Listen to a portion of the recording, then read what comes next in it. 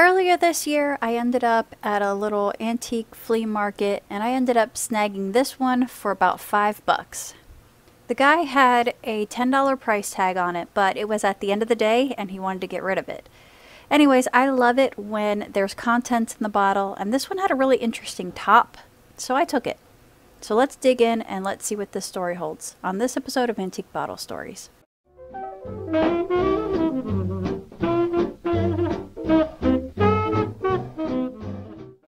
Today's story starts with Nancy Stewart. She was born in 1848 in Tennessee.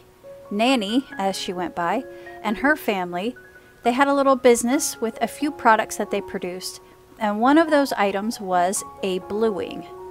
I scoured far and wide, and I could not get the specifics on who in her family started the business, or how long they had it, or how successful it was. Any accounts that I found only mention her family business in passing. Then, when she married this guy named Albert Stewart, or Al as he goes by, he took over the family business. They were married in 1875 and they had four kids three daughters and a son. Al was a Civil War veteran. Well, he was in the military for all of four months. In 1880, he was listed as a grocer in Iowa, Here's 1882 showing he's a traveling salesman. He traveled many states in the Midwest. Here in 1884 directory, we are in Minneapolis, Minnesota. The ad says he's selling Mrs. Stewart's bluing, Mrs. Stewart's family remedy, along with Mrs. Stewart's furniture polish. The story goes that when Al thought to add his wife's photo to the label, she refused. But her mom said that it was okay if they wanted to use her picture so her name was Mary Jane Taylor. Here's an article in 1887 stating that an oil stove at the residence of Mrs. Stewart exploded, and she took the concern and threw it outdoors, displaying a good deal of pluck in doing so. Her timely action may have averted further damage. Here's one of the many articles talking about Al Stewart. He has a reputation by now of being a jolly, traveling salesman. It also mentions that Al is also the owner of a hotel that he wouldn't mind getting rid of. It goes on to describe how he was part of this consolidation movement, and I'm not exactly sure what they're describing here. I can only imagine he's buying up some properties. It says, so confident was he of his success that he made a few wagers with some parties. He would jokingly write to them, expressing sympathy for the sad defeat they were sure to meet with. Apparently, things did not go quite as well as he was expecting, so as he was stepping off the train, he found a procession, along with mourners along the road with their heads bowed. Al looks up and sees a consolidation hearse. Once Al caught on to the joke, he roared with laughter and ordered the hearse driver to stop at the next place liquid refreshments were served, while Al got back on the train with hopes of securing sympathy from his fellow mourners. It sounds like a good time was had by all. A few months later, Al had a fine calla lily removed from his garden, and he wants it returned. It says Al promises to make it interesting if he has to resort to a search warrant. Okay, so he's fun, but he also means business. I've seen a lot of bits like this where Al would blow into town, and this one says Al was in town today looking as sweet and fresh as a rose on a bright June morning. 1891, another light-hearted bet made by Al. He bet Mr. Thorpe a bushel of hand-picked buckwheat that a guy named Donnelly would be elected president of the Alliance, and Al lost. So Al paid up. It says Thorpe is waiting for Al to come around and make another bet. It sounds like Al shouldn't be making so many bets.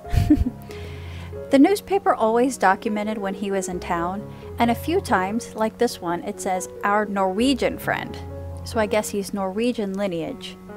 He was known to have a basket of samples. The bluing was supposedly in these sample baskets. Now, a Mr. Luther Ford enters the story. He was born in 1844 in Connecticut. He's only slightly older than Al. He married Sarah and they had three boys. The first baby died at nine months old. Now, Mr. Ford was also a salesman, and in the 1880s, he had a popular 5 and 10 cent bazaar that sold little trinkets and toys. This ad here in 1884, he's selling Christmas cards, vases, tea sets, dolls, toys, harmonicas, and candies. Later on, he would sell fireworks. This article talks about a week before the 4th of July how some boys stole some fireworks from him. Anyways, it's believed somewhere in the 1880s, Mr. Ford and Mr. Stewart crossed paths, and Mr. Stewart sold Mr. Ford the bluing business. I can't find this transaction anywhere, but at some point, Ford is selling the bluing, and he kept the name and the label. The product already had a reputation, so Ford actually had bigger ideas for the product, and he took it from being a local product and made it national. And this is where we pretty much part ways with jolly old Albert in this story. He remains a salesman until he died in 1918, and he's mentioned in the paper many, many more times. But now we got to start following Luther Ford now. So let's go to 1900, where it shows his family. Luther Ford is 54 at this point. His wife, one of his sons is living with him, and a servant. Uh, one interesting thing that I wanted to note is that earlier I said he had three boys and the first one died at nine months old, but this actually shows right here that she had four babies and only two of them survived. So another baby had died at some point. Skipping ahead to 1902, this says Ford and his wife just returned from California and they had spent some time with one of their boys who's a professor at the Polytechnic Institute.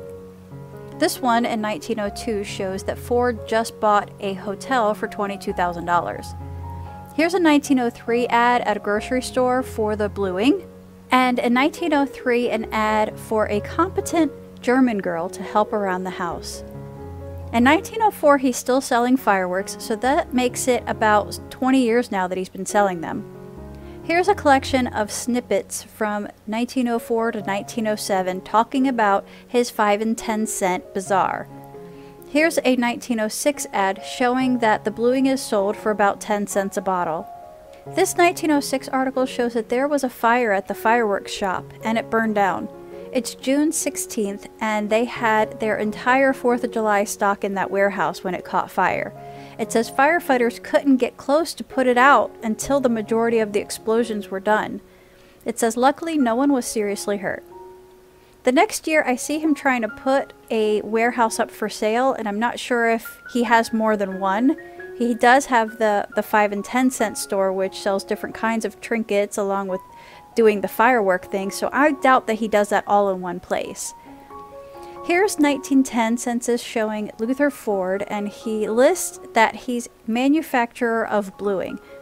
I thought it was interesting that he considers his main occupation as being a manufacturer of bluing as opposed to being a salesman, but I think at this point he's actually focused 100% on the bluing. One of his sons is living at home, Alan, and he's also a partner in the business. One thing that the Ford family was involved in was called the Crittenton Home. This article describes it as a home to save young girls who were victims of white slave traffic in Minneapolis. Luther Ford was the treasurer of this home. In 1910, I see the 5 and 10 cent bazaar, but it's under a different name. So, like I suspected, he doesn't run that anymore. In 1911, he's fighting the city council because they were trying to restrict the sale of fireworks. He calls it unjust discrimination, but he agrees that maybe some regulations are okay. Quick side rabbit hole. Um, it was just too interesting to leave out. This is an article on Luther Ford's mother in law. She's 108 years old when she died. She was born in 1806 and she died in 1914. She was a descendant of Roger Williams, who founded Rhode Island, which is where she was born. One of her ancestors built a house in 1690 on property purchased from the Indians for, quote, 144 fathoms of wampumpeag. And this house had stayed in the family for over 200 years. Seven generations lived here, and 55 children had been born in that house. Her family was prominent in society and participated in politics. At this time, she was the oldest living member of the DAR, Daughters of the American Revolution. She came from good stock, as many of her family lived into their 90s. She had nine children, and her husband died 30 years before her. I put a link to the history of the Watermans if you wanted to dig into that more. We're up to 1920, and we see what his house looks like. Luther and his wife, both sons live here now, and both work with him. Actually, as I studied the document a little bit more, I noticed that Luther is listed as the head of the household, but the wife is listed as widowed. I went and checked, and he died in January 1920. So I checked for a date on the census, and the enumerator doesn't put one. I checked through several pages and I couldn't find a date, so it must have been in January and his death had just happened.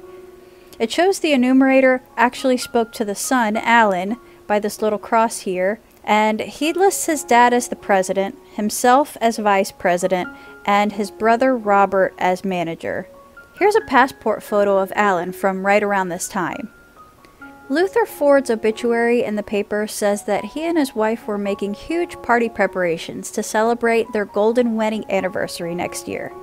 It says his 5 and 10 cent bazaars were believed to be one of the first stores of that kind in the country.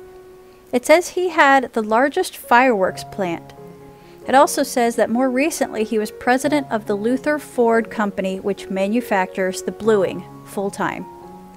By 1925, there were bluing factories in five different states. Distribution was nationwide across the United States and Canada. Robert and Alan ran the business for about 30 years until they handed it to Robert's son, who happened to be named Luther, in the mid 50s. Luther had a guy named Ken Norman as manager of production and purchasing. Well, that guy Ken had a son named Brad, and Brad took over ownership in 1995. He co owned it with a guy named Jeff Olson, and in 2013, Jeff took over ownership. Now, I don't know about you, but I was trying to understand how bluing works. Bluing was used in laundry to help combat whites turning a dingy gray color. The older package directions say to soak the laundry in hot soapy water in a large kettle over a stove or in a wash tub. Then rinse the laundry once or maybe twice. In a different kettle, cool water was put in, with just enough bluing added to make the water a light sky blue color. Then the laundry was dipped in, and then it's hung out to dry. Mine is similar directions. I have to admit, I thought that it was actually washed in the bluing. The earliest Mrs. Stewart's bluing bottles were hand blown. Then, about 1907, the bottles were blown in an early machine. The words, This contains Mrs. Stewart's bluing, were embossed on the front of the bottles to make sure that the bottles weren't reused. Around 1920, the embossing was around the shoulder of the bottle.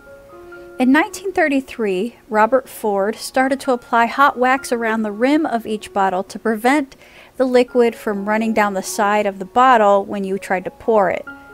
This soon became the patented no drip process. The top of each bottle cork had the words no drip bluing. In the 1960s, plastic screw caps replaced the wooden corks. In the 1970s, they switched to plastic bottles, and you can still buy Mrs. Stewart's Bluing today. So my bottle has a date on the label that says 1940. The label says that you can also use it as an ink, which I found an ad for here. I was reading that the cork was dipped in wax before it was corked in the bottle to ensure a tight fit, and I'm still trying to figure out this topper though. So let's look at this for a minute. It says Bulldog Ekco USA and a patent number. And in the center, it's got a removable pin that says press. Well, I found some examples on Google, and this one shows one in the package. It says keeps the fizz in. I guess with it being bluing and it could stain things easily, they wanted an extra tight seal on it. The rubber is kind of melted to the bottle at this point and I can't even pull that out. I don't think you would see this nail part during normal use, but I think over time the nail has separated from the rubber. I didn't get too involved in researching the Ekco Products company, but they are still in business and you've probably owned one of their products at some point. And that about wraps up this story. I hope everyone's doing well, and we'll see you soon on the next episode. Thanks for watching.